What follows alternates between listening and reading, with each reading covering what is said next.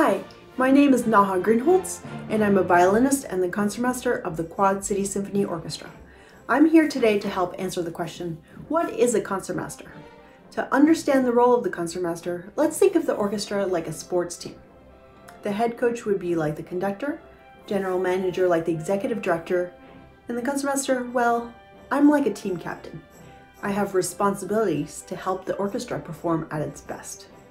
Have you ever noticed that all of the string players' bows move together?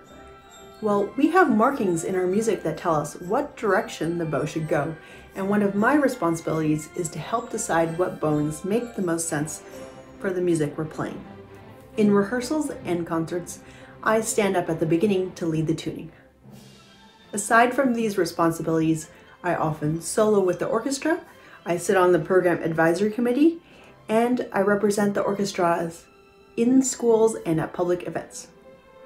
Thank you so much for tuning in, and I hope you're able to take a minute to look at the materials in the video description. As always, take care, stay home, and we will see you next time on the QCSO Music Minute.